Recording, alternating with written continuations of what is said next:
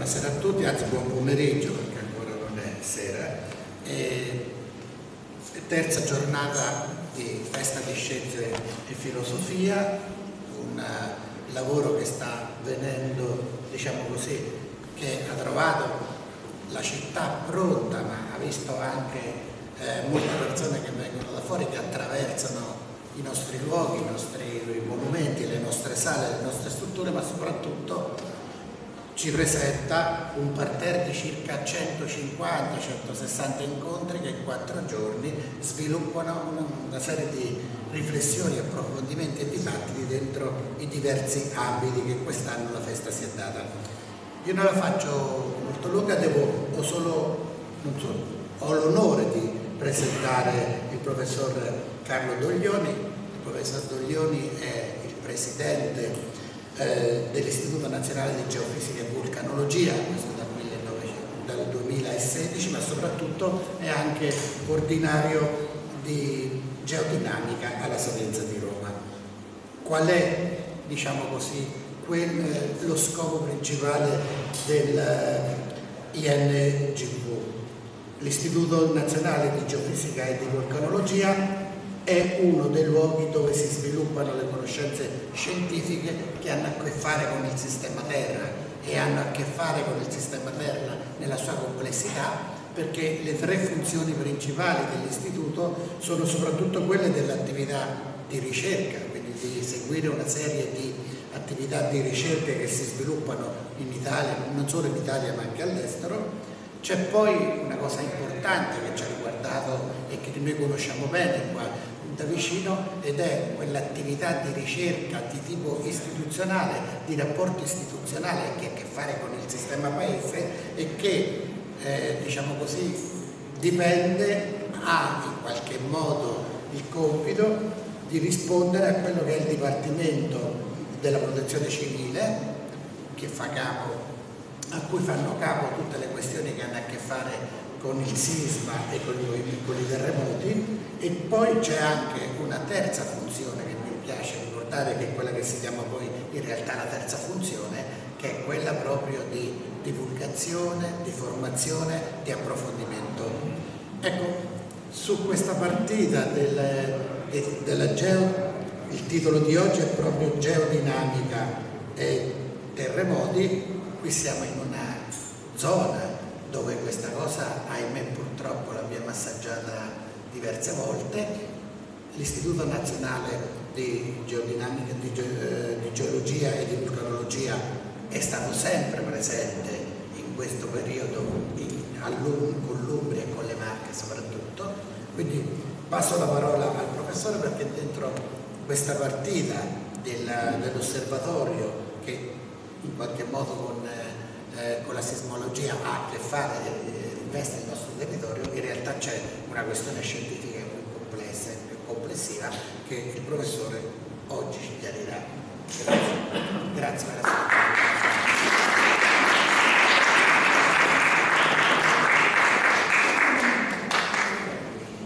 Grazie per la presentazione, buon pomeriggio a tutti. Io non so chi di voi fosse eh, presente prima conferenza del professor Poggia che per me è stata bellissima e ha, ha introdotto quanto sia importante eh, sia stato per Dante, per la letteratura, la storia italiana, la, la Divina Commedia, di come Dante stesso iniziasse a guardare le stelle, la luna e di come avesse colto l'importanza degli, degli aspetti astronomici Ora noi spesso preferiamo guardare verso l'alto e ci dimentichiamo che in realtà noi siamo fatti di atomi di mantello, ci dimentichiamo che, che sotto di noi c'è la ragione anche della possibilità della vita sulla Terra. Anzi, la tettonica delle placche è quella che ha permesso la vita sulla Terra e il pianeta Terra è l'unico che ha un satellite che ha le dimensioni dello stesso ordine di grandezza nel Sistema Solare a parte la distanza dal Sole, a parte le questioni di temperatura, c'è una condizione eh, proprio dinamica che caratterizza la Terra rispetto agli altri pianeti. Ora, eh, non c'è fenomeno sulla Terra, direi nell'universo, dal Big Bang alle cose più elementari, che non sia controllato da dei gradienti. Tutto quello che vedremo è legato a dei gradienti, gradienti che possono essere di pressione, temperatura, gradienti elettrochimici o qualsiasi altra cosa. Qui non so se è fermato tutto.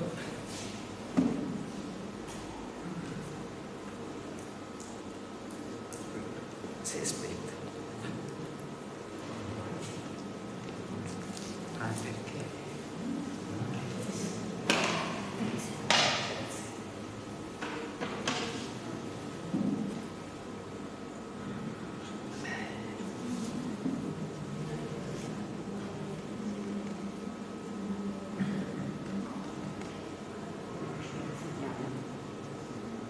Eh,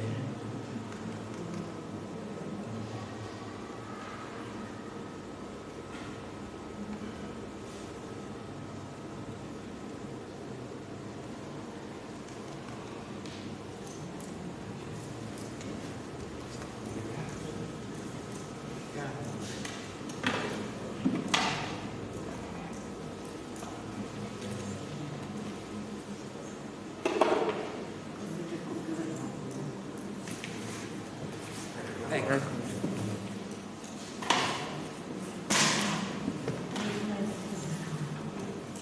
Questo però si è scollegato.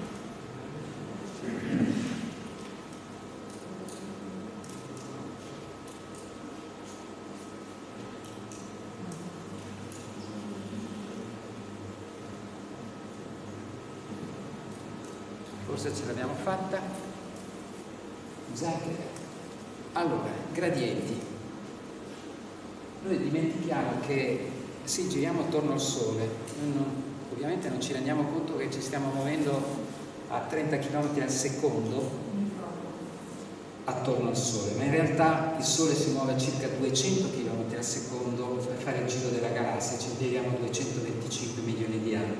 Quindi sì, l'orbita che noi facciamo attorno al Sole in realtà non è un cerchio, anzi bellissimo, in realtà è qualcosa di elicoidale, perché noi rincorriamo il Sole che si sta muovendo attorno al centro della galassia. Allora, per chi non è familiare con la geologia, alcuni termini elementari che vi chiedo di ricordare, in particolare la litosfera, che è fatta dalla crosta terrestre e un po' di mantello. I primi, diciamo, i primi 100 km, questa litosfera è rotta in frammenti che sono le placche cosiddette tettoniche, il mantello sottostante, il nucleo interno e esterno, dove le, le placche si allontanano, si creano oceani, dove la litosfera entra nel mantello invece eh, si creano le zone di subduzione o anche le catene montuose. Allora, i terremoti sono ovviamente il respiro della Terra, qualcosa di, di naturale, è la vivacità del, del sistema Terra, se volete anche come dei colpi di tosse e sono concentrati lì dove sono i margini di queste placche. Per cui vedete che chiaramente attorno al Pacifico abbiamo le zone di maggiore sismicità e che delimitano anche un certo numero di placche, però questi terremoti che sono oggettivamente anche un, problema sociale, in realtà però ci permettono di vedere anche l'interno della Terra, perché è, solamente grazie ai terremoti e al vulcanismo, che è una parte però sol- solamente superficiale, che abbiamo la possibilità, grazie alle onde sismiche, di vedere, di fare una tomografia, un'ecografia, se vogliamo, dell'interno della Terra. Senza le onde sismiche noi non sapremo che cosa c'è all'interno della Terra e qui era bello anche l'intervento di Dante che ipotizza gli inferi all'interno della terra, mentre ovviamente il paradiso è verso le stelle.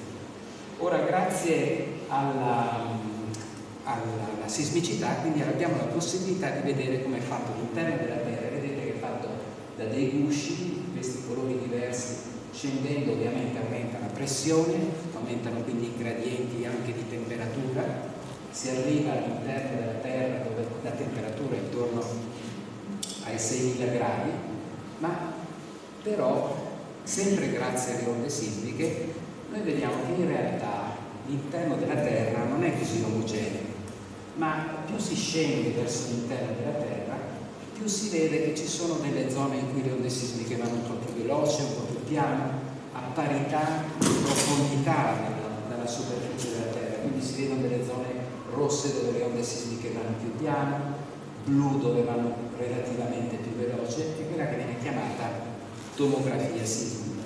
E ci permette proprio di vedere come, come l'ATAC, come l'interno della Terra ha queste anisotropie, quindi sì la Terra è una cipolla ma in realtà all'interno di ogni singolo strato ci sono delle forti anisotropie laterali. Per cui abbiamo un'idea vaga più o meno dell'interno della Terra, con il guscio esterno, la nostra pellicola su cui noi stiamo, a parte questi pochi metri di abitabilità, in realtà viaggiamo al di sopra di questa litosfera che si muove. E, e un'altra cosa particolare è che noi sappiamo che la vita sulla Terra, in particolare sulla Terra emersa, è iniziata solamente circa 541 milioni di anni fa. Prima c'era vita sotto il livello del mare o c'erano organismi unicellulari, pluricellulari solamente da circa 2 miliardi di anni, per quasi 4 miliardi di anni la Terra non ha avuto vita. Cos'è successo in questi 4 miliardi e mezzo di anni? Beh, dalla formazione della Terra tutto il sistema ha cominciato a raffreddarsi immediatamente. La Terra è, è diciamo, l'aggregazione di tanti planetesimi che si sono collisi e questo bombardamento iniziale ovviamente ha prodotto anche un'alta temperatura per cui si ipotizza che all'inizio della storia della Terra, proprio quando si è formato il pianeta, fosse estremamente caldo e praticamente fosse quasi una palla fusa. Quindi questa si era raffreddata, però le rocce nel suo processo hanno una conducibilità termica bassissima, tanto è vero che la Terra raffredda, ma raffredda molto lentamente, circa 100 gradi eh, il mantello terrestre ogni miliardo di anni. Però quello che è successo è che all'inizio non esisteva il nucleo terrestre, il ferro, il materiale più pesante, è sceso verso il nucleo e da quello che sappiamo dai diagrammi di fase del ferro e del nickel, sappiamo che il nucleo interno quello solido della Terra, non esisteva prima di 2 miliardi e mezzo di anni fa. Secondo alcuni ricercatori addirittura non prima di eh, mezzo miliardo di anni.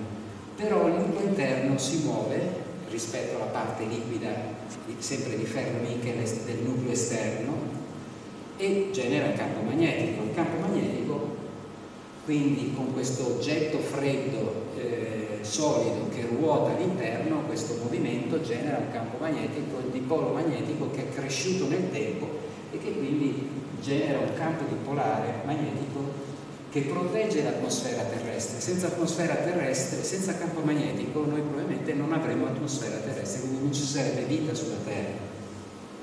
Così come Marte aveva dell'acqua, ha perso il campo magnetico e ha perso anche l'acqua di conseguenza. Quindi la sua atmosfera adesso è ridottissima. Quindi abbiamo una storia della Terra che è fatta di gradienti, per molto tempo è stata un'atmosfera riducente, si è ossidata solamente poco più di 2 miliardi di anni fa e il nucleo interno solido è iniziato a formarsi solamente diciamo, da 2 miliardi e mezzo d'anni, ma è solamente nell'ultimo periodo che vedete la vita ha avuto possibilità di sviluppo sulla Terra questo grazie alla crescita di questo nucleo che sta continuando a crescere e che ha la dimensione che è poco più piccola della dimensione della Luna, che vedete questo anello azzurro.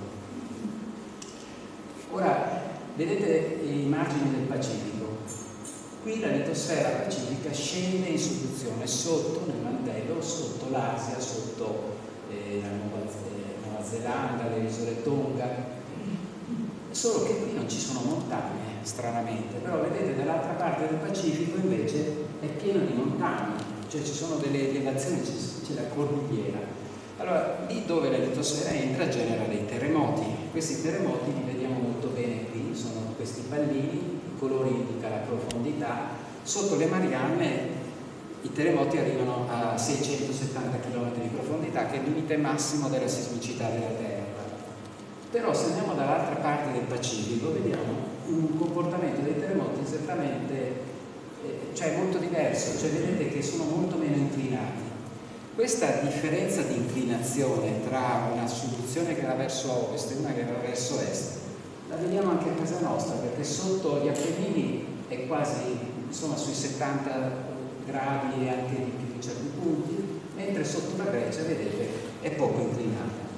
Quindi a scala globale si vede che c'è questa simmetria delle zone di soluzione. E cosa vuol dire questo? È un gradiente, un gradiente che forse può essere spiegato da un flusso di movimento che sposta questi piani che entrano nel mantello, li verticalizza da una parte e li sostiene dall'altra. Alle isole Tonga abbiamo la soluzione più veloce al mondo. Da un punto di vista geologico è una velocità supersonica perché viaggia a 24 cm all'anno, che significa 240 km per anni. Vuol dire veramente che in tempi rapidissimi scende alla base del mantello superiore. Però nonostante ci sia questa grande velocità, che è la più forte che più veloce che conosciamo sulla Terra, non ci sono montagne, ci sono queste isole bellissime, le Tonga, che conosciamo. Se andiamo dall'altra parte del Pacifico, vedete che la convergenza è, è addirittura minore, eppure c'è la catena andina, ci sono delle montagne estremamente elevate. Quindi c'è questa simmetria, questo gradiente e possiamo calcolare i volumi che entrano all'interno del, del mantello terrestre. Vedete che sono quasi tre volte maggiori quelli che scendono verso ovest rispetto a quelli che scendono verso est. Quindi vuol dire che questo gradiente necessita per essere compensato di mantello che si sposta da ovest verso est. Allora in Italia noi abbiamo due catene montuose, due zone di subduzione che sono appunto le Alpi e gli Appennini e sono due zone di subduzione opposte, una in cui l'Europa scende sotto la placca adriatica e quella appenninica in cui la placca adriatica scende verso ovest e vediamo due catene che sono fatte in maniera completamente diversa. Vedete questi, questo colore sono gli affioramenti di, di graniti, rocce metamorfiche.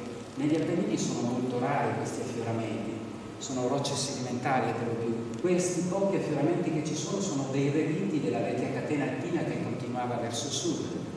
Vedete la temperatura per esempio di 1300 gradi, sotto le Alpi la troviamo a 90-100 km, sotto l'Appennino nella parte occidentale la troviamo a 30-40 km. Sono, sono catene fatte in maniera diversa proprio perché riflettono questa stessa simmetria che abbiamo visto nel Pacifico.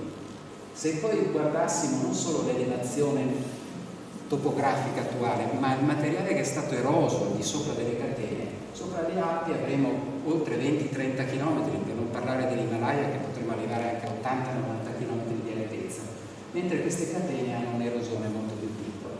Quindi c'è una simmetria, vedete, un gradiente tra queste due tipologie di soluzione. Ma poi c'è un altro aspetto che risulta particolarmente importante. Prendiamo le sei grandi strutture della Terra, che sono l'Oceano Indiano, Pacifico e Atlantico, prendiamo le, sei, le tre grandi zone di soluzione, che sono il sistema cosiddetto alpino himalayano, questo, l'Ovest Pacifico e l'Est Pacifico e leghiamo insieme semplicemente le direzioni di questo movimento. Vedete che c'è questa traccia eh, che segue queste direzioni.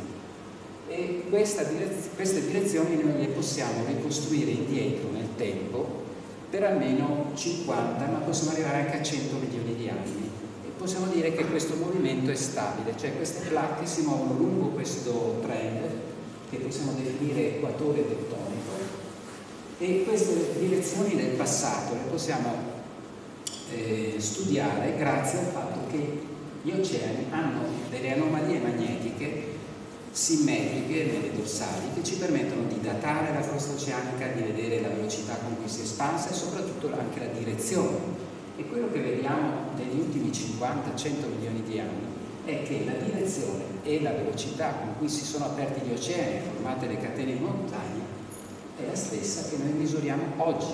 Cioè oggi grazie alla rete GPS vediamo lo stesso flusso, vediamo le stesse velocità che ci davano le anomalie magnetiche degli ultimi 50 milioni di anni. Quindi oggi stiamo vedendo qualcosa che è una chiave di lettura anche del passato.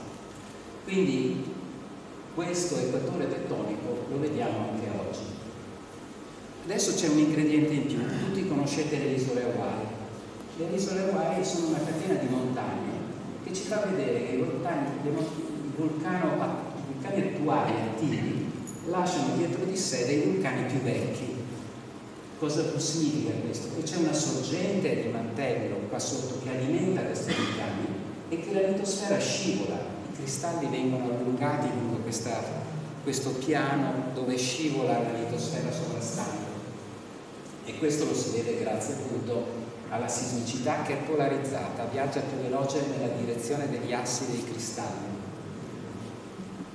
Allora, se noi eh, misuriamo eh, la velocità delle onde sismiche sotto la litosfera, vedete che a circa 100 km di profondità c'è questa zona azzurrina che noi chiamiamo low velocity zone, che vuol dire semplicemente che le onde sismiche rallentano. Perché rallentano? Perché per quello che interpretiamo c'è eh, il mantello terrestre ha una leggera componente fusa, forse l'1%, 2%, ma abbastanza per rendere quella parte di mantello meno viscosa e quindi permettere alla litosfera sovrastante di scivolare.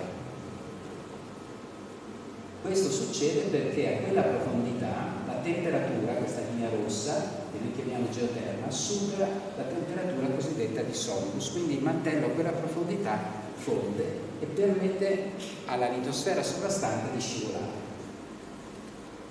Solo che se noi misuriamo tutte queste velocità rispetto alle Hawaii, vediamo che tutto il guscio esterno della Terra si muove verso ovest, non esattamente verso ovest, ma in questa direzione ondulata, con una velocità che può variare tra i 4 e i 10 cm all'anno come media.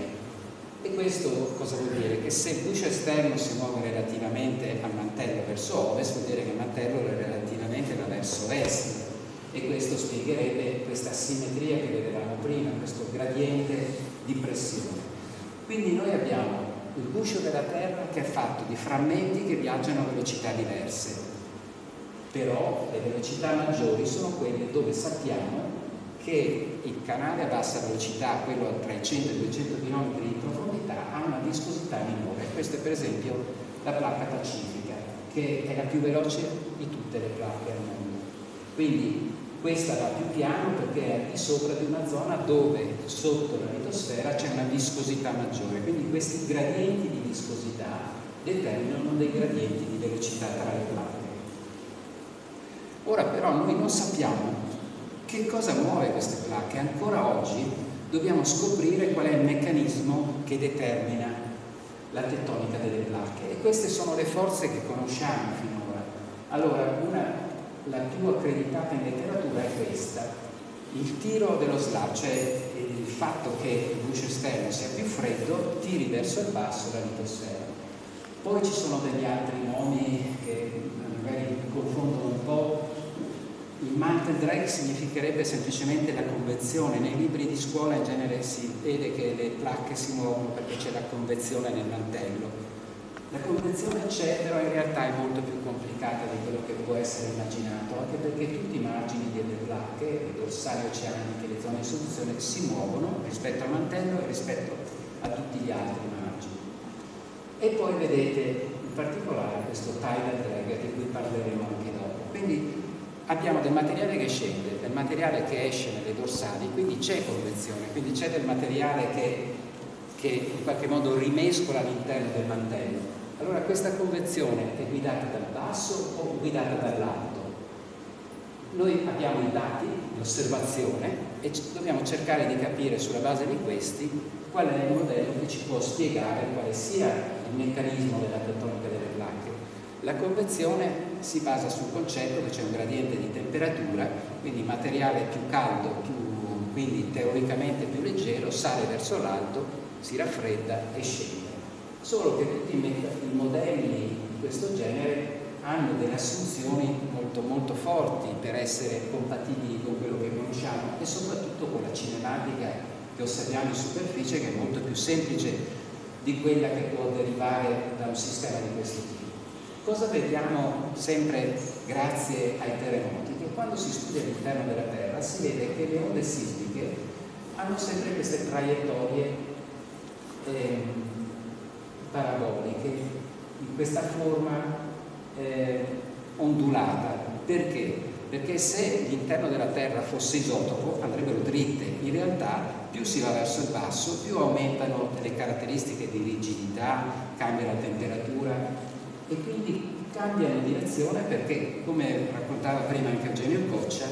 c'è una riflessione delle onde sismiche e quindi questo ci permette di capire anche che l'interno della Terra è stratificato e più si va verso il basso più aumenta il ferro per esempio, aumenta la densità tantissimo, aumenta la temperatura, ma la temperatura non aumenta così tanto perché no, noi non stiamo su una stella, stiamo su un sistema che si sta raffreddando. Immaginate la pentola dell'acqua calda degli spaghetti, se noi spegniamo il fuoco, la